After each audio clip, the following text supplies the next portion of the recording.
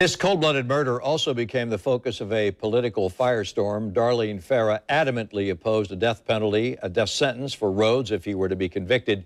But the then state attorney, Angela Corey, repeatedly refused to negotiate a plea bargain for a life sentence. I-Team investigator Lynnsey Gardner is joining us with a look at how the outcome of this case has done a 180. Lynnsey?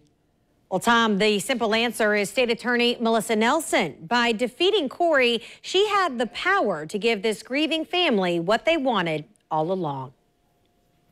It's my um, my intent in those situations to always, regardless of whether we see eye to eye, um, treat victims with dignity and respect. State Attorney Melissa Nelson wasted no time setting the record straight on why her office took this plea deal with murderer James Rhodes. We um, deal with difficult decisions every day, and honestly, this was not a difficult decision. Grieving mother Darlene Farah pushed for life in prison to save her family from years of court battles and appeals if Rhodes had been sentenced to death.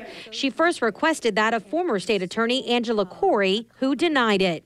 Corey even talked about the family publicly during her campaign for reelection, as seen here on WOKV.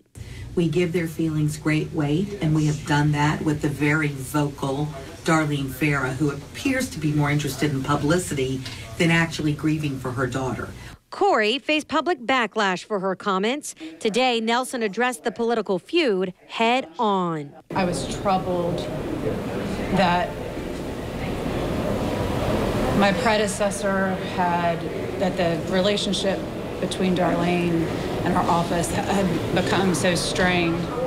Um, it was important to me to make sure that even if we disagreed with Darlene, that she and her children felt that the office was respecting them and listening to them. The future of the death penalty in Florida does remain unclear tonight. Last year, a battle between the legislature and the Supreme Court unfolded. Lawmakers tried to pass a law saying only 10 of 12 jurors needed to agree to impose the death penalty. But the Supreme Court found that law unconstitutional, saying the decision must be unanimous.